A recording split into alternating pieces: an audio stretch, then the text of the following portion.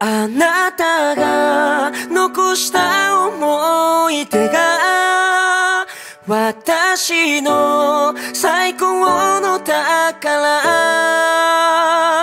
ありがとう。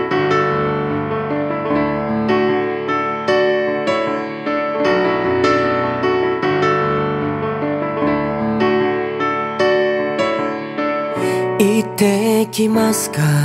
最後の言葉また聞けると思ってた。当たり前の言葉思い出をいっぱい持って帰ると信じていた。あなたが残した私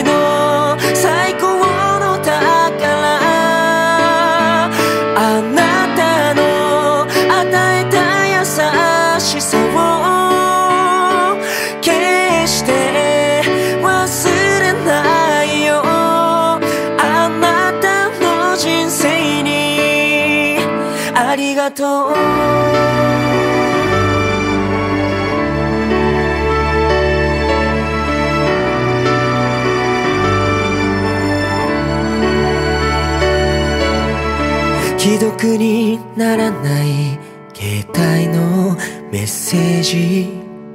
凍てつく寒さの中信じていたはずだ。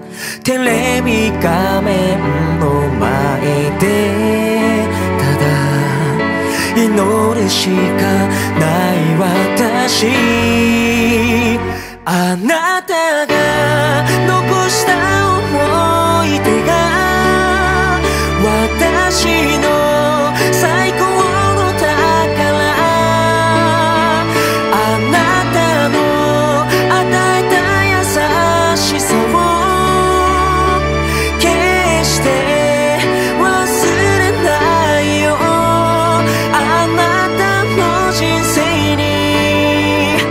ありがとう。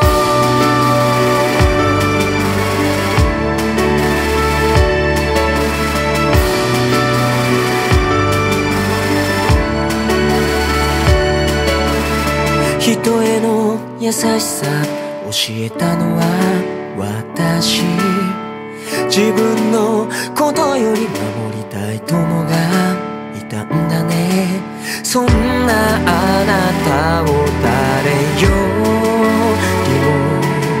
今誇りに思うよ。あなたが残した思い出が私の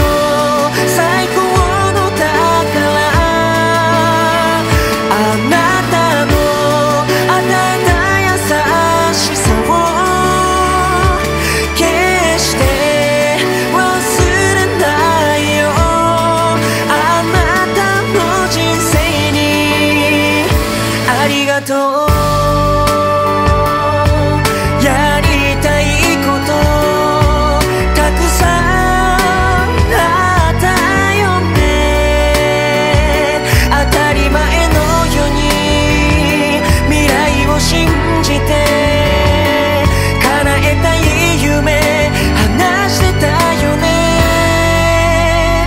もう一度生まれ変わっても私の子供でいてください。今度は必ず守るから。私があなたを守るから。